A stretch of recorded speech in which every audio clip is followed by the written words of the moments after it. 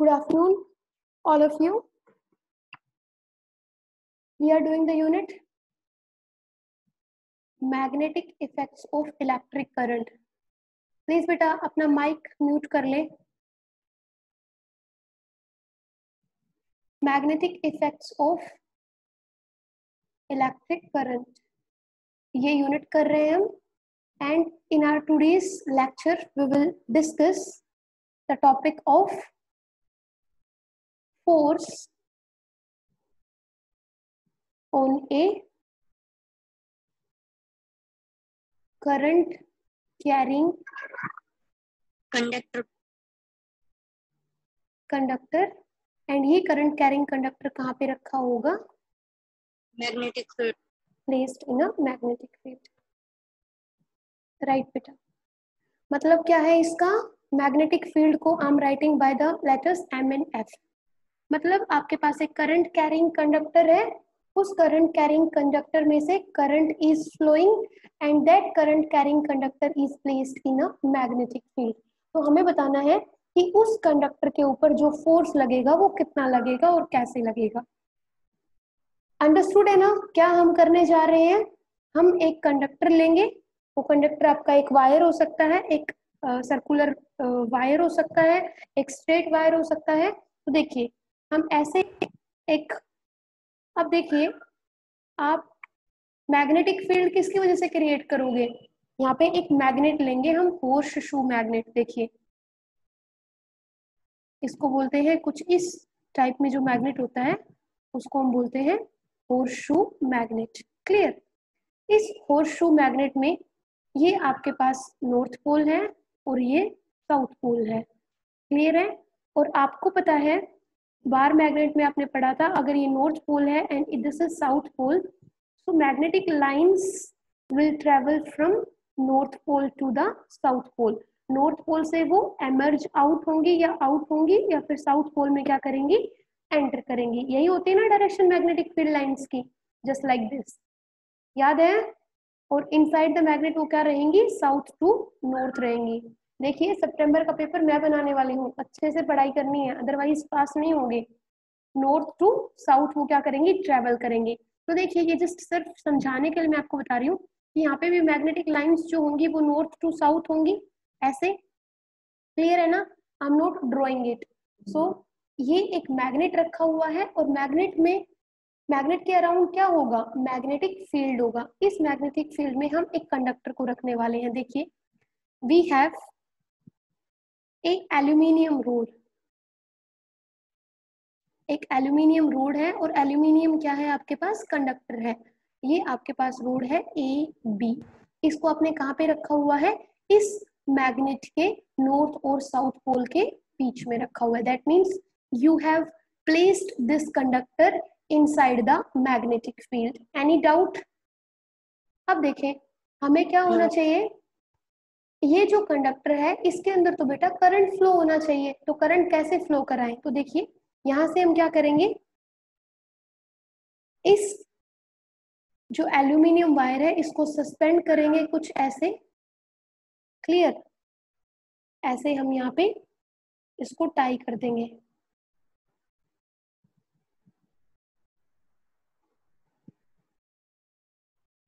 ऐसे किसी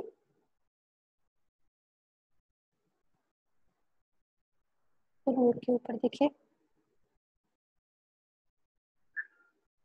और यहाँ पे क्या है? ये हमने इसको होल्ड किया है वायर ये हमने एक स्टैंड बना रखा है यहाँ पे।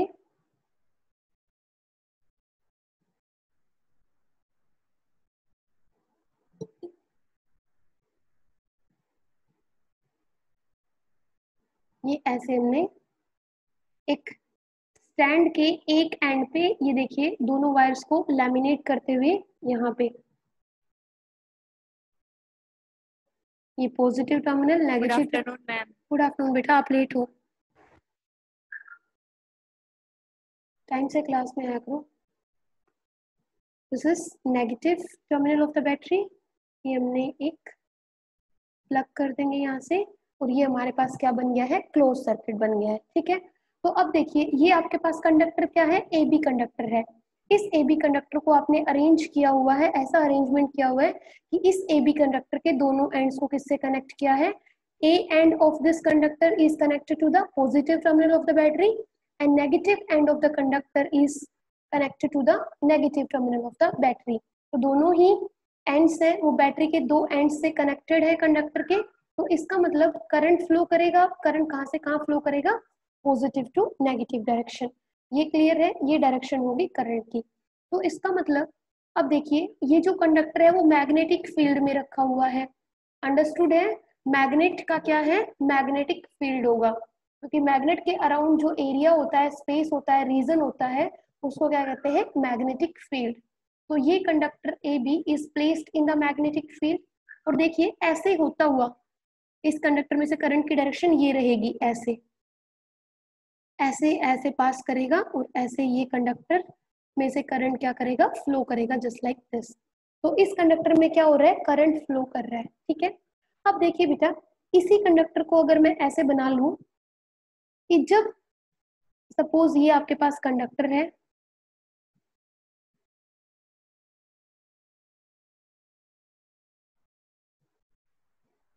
ए बी इसमें से करंट फ्लो कर रहा है from A to B like this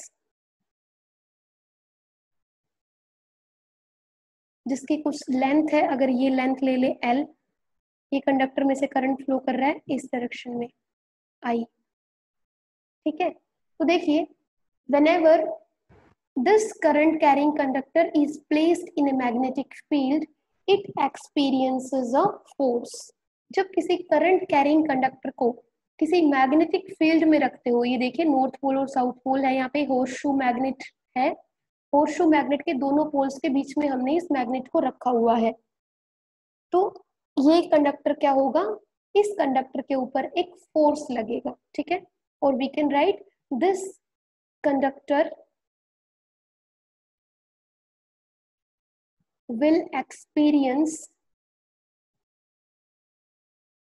a force इस पे क्या लगेगा? एक फोर्स लगेगा। और वही हमारा एक्सप्रेशन है force on a current carrying conductor कि जब आप इस कंडक्टर को मैग्नेटिक फ़ील्ड में रखते हो तो इस मैग्नेटिक फ़ील्ड इस कंडक्टर के ऊपर क्या लगेगा? फोर्स लगेगा। फोर्स की वजह से ये जो कंडक्टर है, अभी अगर रेस्ट में है, इसमें से करंट फ्लो नहीं कर रहा है तो ये किस पे होगा? सपोज़ रेस्ट पे है। जैसे ही इसमें से करंट फ्लो होना शुरू होगा तो क्या होगा कि इस कंडक्टर की जो पोजीशन होगी, वो क्या हो जाएगी? चेंज हो जाएगी। या तो ये इस, ये बोल सकते हो कि इस कंडक्टर की जो पोजीशन है, उसमें क्या क्रिएट हो जाएगा? डिफ्लेक्शन इसमें मूवमेंट क्रिएट हो जाएगा मोशन क्रिएट हो जाएगा। ठीक है? यही हमारी डेरिवेशन है। अब कैसे मोशन होगा और क्या होगा उस फोर्स की डायरेक्शन ठीक है? समझे? इसमें से करंट फ्लो कर रहा है। करंट फ्लो कर रहा है मैग्नेटिक फ़ील्ड में रखा हुआ है। तो क्या होगा? इस कंडक्टर के ऊपर एक फोर्स लगेगा और फोर्स के लगने की वजह से इसके अंदर क्या क्रिएट होगा? मोशन क्रिएट होगा।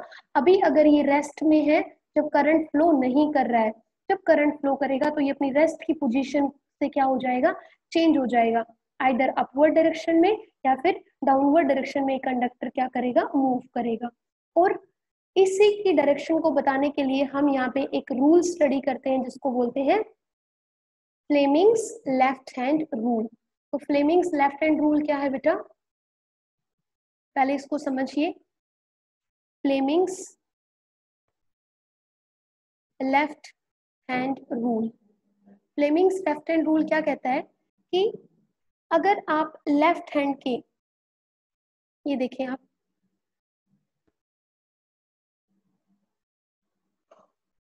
आप लोगों को मेरी वीडियो दिख रही है? आप लोगों को मैं दिखाई दे रही हूँ? No, मैं दिखाई नहीं दे रही? ओके okay, तो आप ऐसा कीजिए अपने लेफ़्ट हैंड को all students will stretch their left sense in such a manner that जो लेफ़्ट हैंड है, उसकी फोर फिंगर फोर फिंगर मतलब जो फ़र्स्ट वाली थम के बाद वाली जो फिंगर है, उसको बोलते हैं इंडेक्स फिंगर या फोर फिंगर देन उसके बाद मिडल फिंगर एंड देन थम इन तीनों को कुछ आप ऐसे स्ट्रेच करेंगे कि तीनों क्या हो परपेंडिकुलर टू ईच अदर हो. समझ रहे हैं? फ्लेमिंग्स लेफ़्ट हैंड रूल पहले मैं स्टेटमेंट लिख देती हूँ, फिर मैं आपको समझाती हूँ। फ्लेमिंग्स लेफ़्ट हैंड रूल की स्टेटमेंट क्या है? देखिए, आपसे ये पूछी जा सकती है टू मार्क्स में। की write down the statement of Fleming left hand rule तो स्टेटमेंट क्या है? Stretch the left hand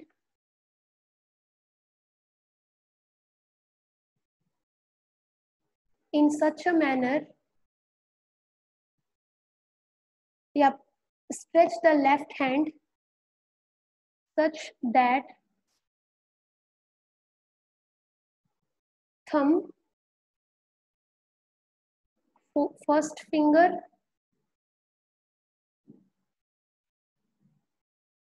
and central finger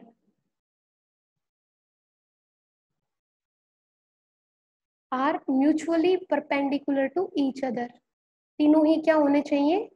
mutually perpendicular होने चाहिए. Yes you can do it on your own mutually perpendicular to each other then first finger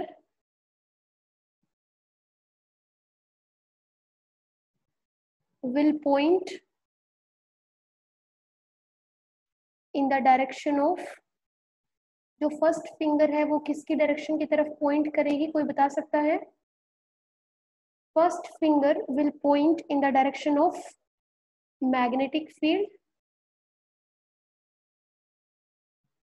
Central finger will point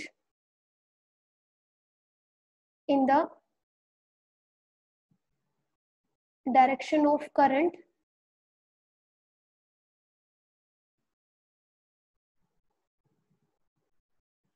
then the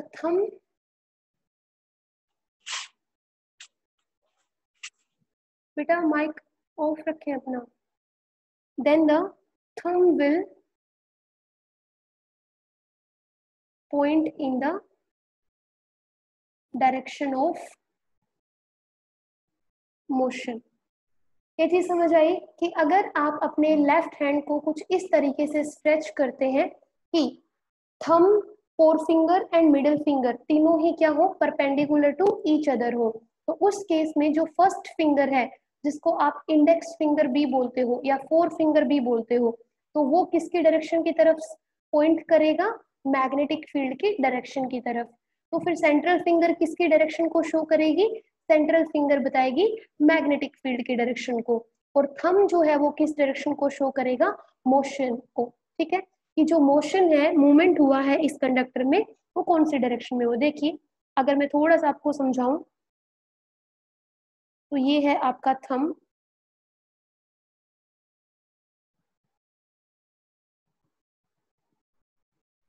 ये है आपकी four finger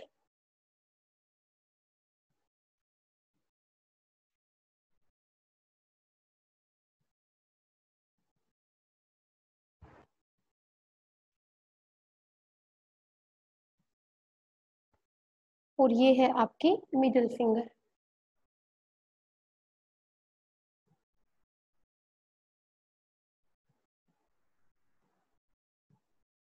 ऐसे देखिए। ये देखिए, ये है थम ये है आपकी फोर फिंगर या फिर फ़र्स्ट फिंगर और ये है आपकी मिडल फिंगर ये आपने क्या किया है? आप अपने लेफ़्ट हैंड को इसी तरीके से इसी पोजीशन में स्ट्रेच कर सकते हो सो so दैट जो थम है उसकी डायरेक्शन देखिए अपवर्ड डायरेक्शन में है फोर फिंगर की फ्रंट डायरेक्शन में है फॉरवर्ड डायरेक्शन में, और मिडिल फिंगर कुछ इस डायरेक्शन में है। और तीनों ही ये क्या है? Thumb first finger and central finger तीनों क्या है? परपेंडिकुलर टू इच अदर देखिए थम अपवर्ड डायरेक्शन में है, इस डायरेक्शन में फोर फिंगर इस डायरेक्शन में है, और ये इस डायरेक्शन में है। कुछ ऐसे, जैसे आपका कोऑर्डिनेट ज्योमेट्री बनती है ना ऐसे। तो तीनों ही क्या है? Mutually perpendicular to each other है, ठीक है?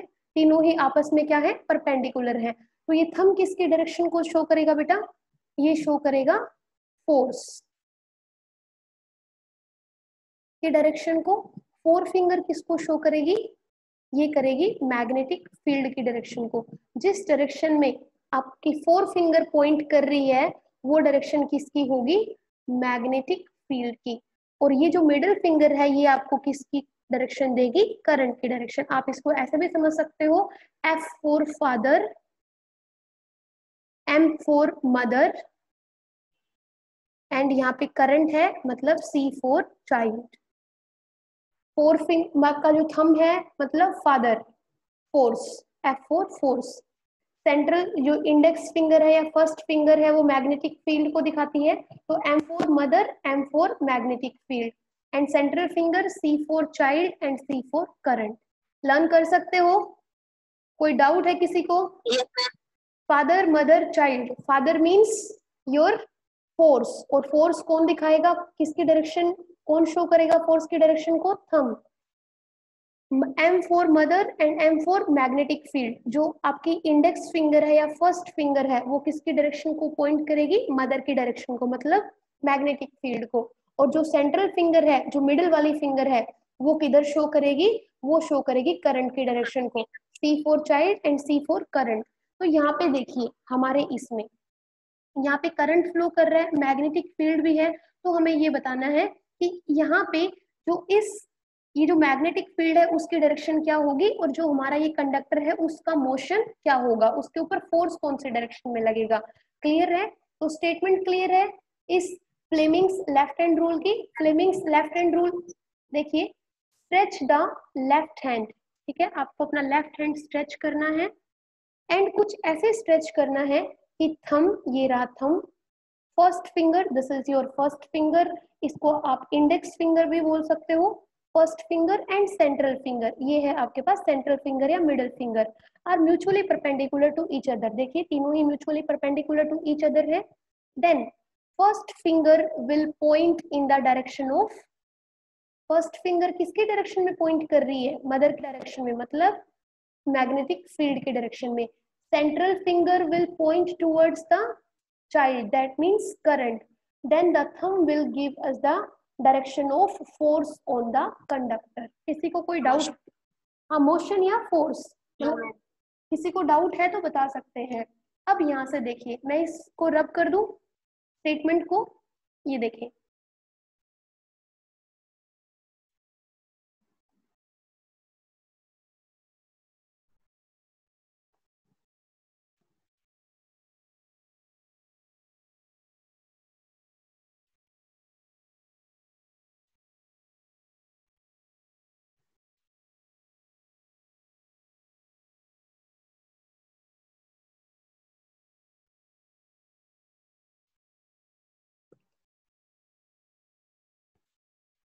अब यहाँ देखिए आप।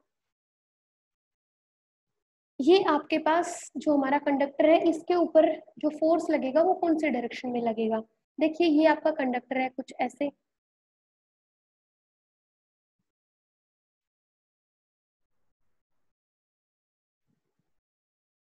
This is the conductor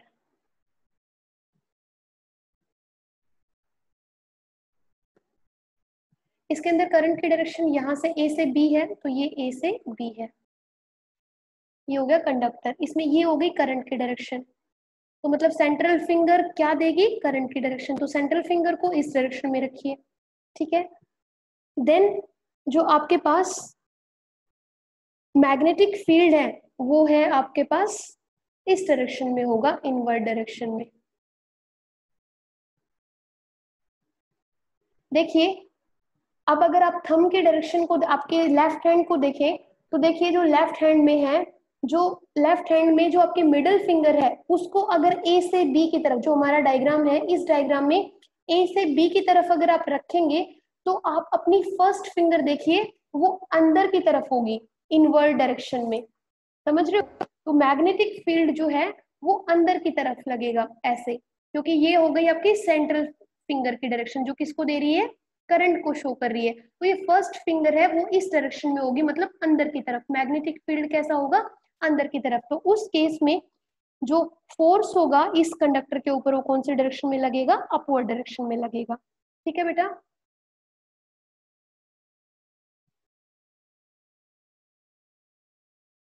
question आपके पास ये होता है कि जो फ्लेमिंग्स लेफ़्ट हैंड रूल है, या फिर जब आप कंडक्टर को जिसमें से करंट फ्लो कर रहा है, उसको मैग्नेटिक फ़ील्ड के अंदर रखते हो तो उसके ऊपर फोर्स लगता है। और you can say that conductor will experience a force when placed in the magnetic field तो ये जो फोर्स लगेगा, इस फोर्स के डायरेक्शन को हाउ डू वी फाइंड तो direction of force experienced by the current carrying conductor ccc4 current carrying conductor placed in magnetic field. तो जो उसके ऊपर फोर्स लग रहा है, उसकी डायरेक्शन को हम कैसे फाइंड आउट करेंगे? तो कैसे फाइंड आउट करेंगे? By Fleming's left hand rule तो if question comes you can solve कि direction of force experienced by the current carrying conductor placed in magnetic field कि अगर किसी करंट कैरिंग कंडक्टर को अगर आप मैग्नेटिक फ़ील्ड में रखते हो तो उसके ऊपर जो फोर्स लगेगा उस फोर्स के डायरेक्शन क्या होगी? कैसे फाइंड आउट करोगे? कौन से रूल से फाइंड आउट करोगे? Then you will find out it with the help of Fleming's left hand rule clear है बेटा? कोई डाउट किसी को? नो मैम ओके अब देखिए, ये फाइव मार्क्स का क्वेश्चन फ्रेम होता है आपका यहाँ से। इस क्वेश्चन को आप फाइव मार्क्स में कर सकते हो। कैसे? हम यहाँ पे दो तीन चीज़ें और करेंगे, वो क्या होंगी देखें। अब हम फैक्टर्स स्टडी करेंगे कि factors on which the force ये फोर्स जो इस कंडक्टर के ऊपर लग रहा है, क्यों? क्योंकि इस कंडक्टर में से करंट फ्लो कर रहा है और इस कंडक्टर को हमने किसमें रखा हुआ है? मैग्नेटिक फ़ील्ड में रखा हुआ है। तो जो फोर्स लग रहा है, वो किन किन फैक्टर्स के ऊपर डिपेंड करेगा? कैसे ये जो फोर्स है, वो ज़्यादा हो सकता है और कैसे ये जो फोर्स इस कंडक्टर के ऊपर लग रहा है, वो कम हो सकता है? तो factors on which force acting on a current carrying conductor current carrying conductor placed in a uh, placed perpendicular to the magnetic field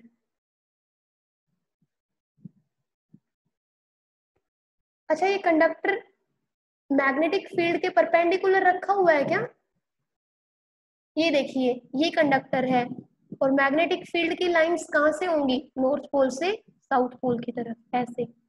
तो क्या ये मैग्नेटिक फ़ील्ड के परपेंडिकुलर नहीं है? है ना? तो एक कंडक्टर है जो मैग्नेटिक फ़ील्ड के परपेंडिकुलर रखा हुआ है। तो इस कंडक्टर पे जिसमें से करंट फ्लो कर रहा है, उस मैग्नेटिक फ़ील्ड के अंदर कितना जो फोर्स लगेगा, वो किन किन फैक्टर्स के ऊपर डिपेंड करता है? ये चीज़ समझ आई कि वो कौन कौन से फैक्टर्स है जिसके ऊपर तो ये फोर्स लग रहा है इस कंडक्टर के ऊपर वो किन किन फैक्टर्स पे डिपेंड करेगा? तो सबसे पहले जो ये फोर्स है बेटा, जो किसके ऊपर लग रहा है? इस कंडक्टर के ऊपर। वो डिपेंड करेगा कि इस कंडक्टर में से जो करंट की जो स्ट्रेंथ है, वो कितनी फ्लो कर रही है, ठीक है? तो सॉरी मैग्नेटिक फ़ील्ड वैसे ये भी ठीक है कि करंट का जो मैग्नीट्यूड है, वो कितने मैग्नीट्यूड का करंट इस कंडक्टर में से फ्लो कर रहा है? तो force on the conductor is directly proportional किसके? Current flowing through the conductor और डायरेक्टली प्रोपोर्शनल होने का मतलब अगर हम इस करंट को, जो इस कंडक्टर में से फ्लो कर रहा है, उसको अगर इंक्रीज कर दे तो फोर्स भी क्या लगेगा? ज़्यादा। और अगर करंट को डिक्रीज कर दे तो फोर्स भी क्या लगेगा? कम। ये चीज़ क्लियर है? सेकेंड है the strength of magnetic field या फोर्स वो डायरेक्टली प्रोपोर्शनल होगा किसके? स्ट्रेंथ ऑफ़ मैग्नेटिक फ़ील्ड के। कि जो ये फोर्स लग रहा है ना बेटा कंडक्टर के ऊपर, वो फोर्स डिपेंड करेगा डायरेक्टली डिपेंड करेगा कि जो ये मैग्नेट है, इस मैग्नेट का मैग्नेटिक फ़ील्ड कितना है। अगर इस होर्स शू का मैग्नेटिक फ़ील्ड स्ट्रोंग है तो फोर्स भी क्या लगेगा? ज़्यादा। देखिए, ये बी क्या है? Strength of magnetic field magnetic field की ताकत कैपेसिटी स्ट्रेंथ इंटेंसिटी तो जितना ज़्यादा ये स्ट्रोंग होगा मैग्नेटिक फ़ील्ड उतना ही ज़्यादा फोर्स लगेगा। और जितना होगा वीक मैग्नेटिक फ़ील्ड उतना ही फोर्स लेस लगेगा। ये चीज़ क्लियर है? थर्ड है? अब देखिए ये जो लेंथ है कंडक्टर की ये देखिए ये जो कंडक्टर की लेंथ है ए से बी तक। ये जो आपके पास फोर्स लगेगा इस कंडक्टर पे वो डायरेक्टली प्रोपोर्शनल होगा लेंथ ऑफ़ द कंडक्टर कि अगर कंडक्टर की लेंथ बहुत ज़्यादा है तो डायरेक्टली प्रोपोर्शनल है तो फोर्स भी क्या लगना चाहिए? This conductor will experience a greater force अगर लेंथ कम है तो फोर्स भी क्या लगेगा? कम। तो जितनी ज़्यादा लेंथ उतना ज़्यादा फोर्स जितनी कम लेंथ उतना कम फोर्स ठीक है बेटा? अब देखिए, ये फ़र्स्ट इक्वेशन अगर मैं मान लू, ये सेकेंड इक्वेशन में मान लू और ये थर्ड इक्वेशन में मान लू, ठीक है? तो यहाँ से आपका जो फोर्स है वो किन किन फैक्टर्स के ऊपर डिपेंड करेगा? आई के ऊपर बी के ऊपर I means current B means strength of magnetic field and L means length of conductor और थर्ड एक और फैक्टर होगा जो क्या होगा? ओरिएंटेशन ओरिएंटेशन ऑफ़ कंडक्टर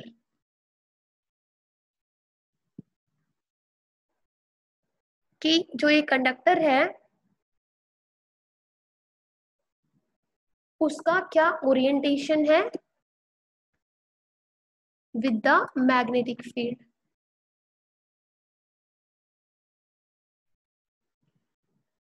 समझ गए? देखिए ओरिएंटेशन का मतलब आप नहीं समझोगे, मुझे पता है, मैं समझाती हूँ। सपोज़ अगर मैग्नेटिक फ़ील्ड की जो लाइंस है वो इस डायरेक्शन में है नॉर्थ पोल से साउथ पोल की तरफ़। ये हो गया मैग्नेटिक फ़ील्ड और ये है कंडक्टर ए से बी तो अब कंडक्टर और जो मैग्नेटिक फ़ील्ड है कंडक्टर का होता है एक एरिया वेक्टर या फिर आप सब सिंपली ये समझ लीजिए कि सपोज़ ये कंडक्टर है। ये कंडक्टर और मैग्नेटिक फ़ील्ड क्योंकि एरिया वेक्टर भी आपको समझ नहीं आएगा। दोनों के बीच में एंगल कितना बन रहा है? 90 डिग्री। अब देखिए, इसी कंडक्टर को अगर मैं इस डायरेक्शन में ना रख के ऐसे रख दू ये मैग्नेटिक फ़ील्ड लाइंस है मतलब ये मैग्नेटिक फ़ील्ड है, और कंडक्टर को भी मैं ऐसे ही रख दू। तो अब दोनों क्या हो गए? पैरेलल हो गए ना एक दूसरे के? ये देखिए, ये इस डायरेक्शन में है मैग्नेटिक फ़ील्ड और करंट भी इसी डायरेक्शन में है तो थीटा कितना हो गया? ज़ीरो डिग्री समझ रहे हो बात को? अब यहाँ पे मैग्नेटिक फ़ील्ड की लाइंस ये हैं, और मैं इसको ऑपोजिट डायरेक्शन में रख दू। ए से बी इस डायरेक्शन में। तो अब दोनों के बीच में एंगल कितना है? 180 डिग्री मतलब ओरिएंटेशन मतलब आप अगर इसको कंडक्टर को किसके साथ मैग्नेटिक फ़ील्ड के साथ अगर इस तरीके से ओरिएंट करो कि उनके बीच में एंगल कितना हो थीटा कितना हो। यहाँ पे थीटा कितना है? 90 डिग्री यहाँ पे कितना है? ज़ीरो डिग्री यहाँ पे कितना है? 180 डिग्री अगर ये लाइंस ऐसे हो सपोज़ मैग्नेटिक फ़ील्ड की जो लाइंस है, वही किसको शो करती है? मैग्नेटिक फ़ील्ड को, ऐसे। और करंट जो है वो कंडक्टर है वो आपने ऐसे रखा हुआ देखिए, अब दोनों के बीच में एंगल कितना बन रहा है? थीटा तो ये होता है ओरिएंटेशन कि आपके कंडक्टर की जो पोजीशन है वो कितना एंगल बना रही है किसके साथ? मैग्नेटिक फ़ील्ड के साथ। क्लियर है बेटा? तो थर्ड फैक्टर होगा ओरिएंटेशन मतलब थीटा एंगल किसके बीच में? कंडक्टर के बीच में और मैग्नेटिक फ़ील्ड के बीच में। ये लास्ट वाला फैक्टर समझ आया? सबको? Orientation of conductor with respect to magnetic field मतलब मैग्नेटिक फ़ील्ड की पोजीशन को आप कैसे चेंज कर रहे हो किसके रेस्पेक्ट में? मैग्नेटिक फ़ील्ड के रेस्पेक्ट में ठीक है? तो मतलब थीटा आप चेंज करोगे। तो यहाँ से अगर ये चारों फैक्टर्स देखा जाए तो यहाँ से आपके पास क्या बन जाएगा? ये बन जाएगा F is directly proportional to B I L और उसका हम क्या लेंगे? साइन थीटा ठीक है? तो देखिए, ये एक्चुअली एक फॉर्मूले से आता है बट आप अभी इतना ही याद रख लीजिए। क्लियर है बेटा? ये अगर मैं आपको बता दूँ तो देखिए, ये इस फॉर्मूले से आता है B I L sine theta क्यों आया। आप सिर्फ़ इतना फॉर्मूला याद रखें, बस। बाकी जो मैं अभी बताने जा रही हूँ, उसको याद रखने की ज़रूरत नहीं है। फोर्स जो है, वो किसके इक्वल होता है? डायरेक्टली प्रोपोर्शनल होता है। आई एल को आप बाहर रख लीजिए। ये होगा बी क्रॉस आई ऐसे लिखते हैं हम। तो यहाँ से बी एल और इसको अगर ओपन करते हैं तो ये बन जाता है बी आई यहाँ पे क्रॉस है, ये क्रॉस को हटाने के लिए यहाँ पे हम लगा देते हैं साइन थीटा तो ये ऐसे आया। अब आपको ज़्यादा याद करने की ज़रूरत नहीं है, ये आपके काम का नहीं है। तो सिंपली आपके पास क्या बन जाएगा? ये बन गया F is directly proportional to B I L sine theta clear है ना ये? तो मैग्नेटिक फ़ील्ड कितना होगा यहाँ पे, वो हमें निकालना है। देखो F is directly proportional to B magnetic field की स्ट्रेंथ जितना करंट फ्लो कर रहा है, वो length of the conductor and sine theta proportionality को रिमूव करना है तो कितना आ जाएगा? एफ़ इज़ इक्वल टू यहाँ पे एक कॉन्स्टेंट आ जाएगा के और ये बन जाएगा B I L sine theta हम मेनली क्या करते हैं? के की वैल्यू को क्या ले लेते हैं? वन ले लेते हैं। के की वैल्यू को अगर वन लोगे तो ये क्या बन जाएगा? F is equal to B I L sine theta तो देखिए, ये जो फोर्स है, जो कंडक्टर के ऊपर लगेगा, वो किसके ऊपर डिपेंड कर रहा है? थीटा पे. थीटा का मतलब है एंगल एंगल किस किस के बीच में? मैग्नेटिक फ़ील्ड और आपके पास जो कंडक्टर है, ठीक है?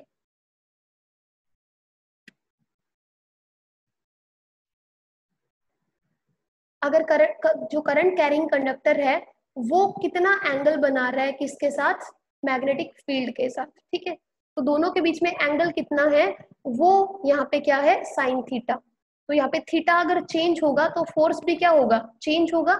अगर मान लेते हैं, जो थीटा है मतलब एंगल कितना हो जाए? ज़ीरो डिग्री हो जाए। तो साइन ज़ीरो कितना होता है? ज़ीरो तो कंडक्टर के ऊपर फोर्स कितना लगेगा? कोई भी फोर्स नहीं लगेगा। ये पता है ना, साइन ज़ीरो डिग्री कितना होता है? ज़ीरो। अब अगर दोनों के बीच में एंगल कितना हो जाए, जैसे कि मैंने आपको बताया था थीटा की वैल्यू कितनी हो जाए? 90 डिग्री। तो उस केस में फोर्स कितना लगेगा? बी आई एल साइन और थीटा की जगह क्या रखेंगे? 90 और साइन 90 कितना होता है?